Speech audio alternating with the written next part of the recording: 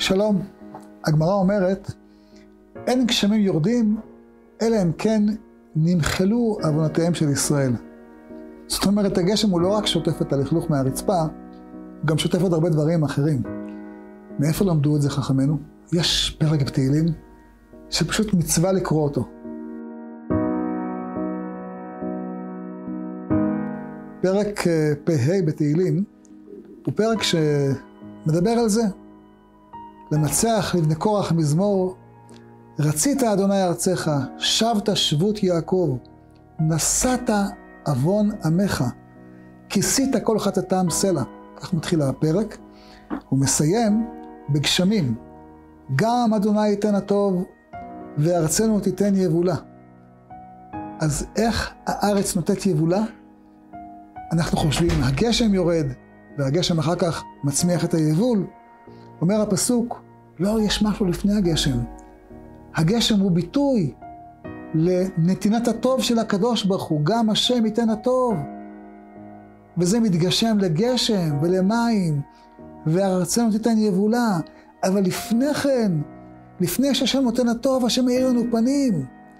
חסד ואמת נפגשו, צדק ושלום נשקו. ולפני כן, הקדוש ברוך הוא, אה, תשוב תחיינו ועמך ישמחו בך. ולפני כן, נשאת עוון עמך, כיסית כל חטאתם סלע.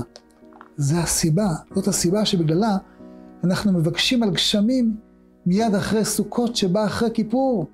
כי בהתחלה כיפור, נשאת עוון עמך, אחר כך אתה הקדוש ברוך הוא, תשוב תחיינו, עמך ישמחו בך, זה סוכות, הראינו אדוני חסדיך, וישעך תיתן לנו, ואחר כך גם אדוני ייתן הטוב, וארצנו תיתן יבולה.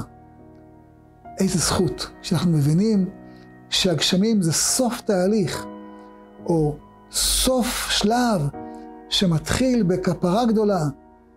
כל טיפה של גשם משמחת אותנו, כל טיפה של גשם אנחנו מודים עליה, כי כל טיפה של גשם מספרת סיפור ענק, סיפור של אהבת השם אלינו.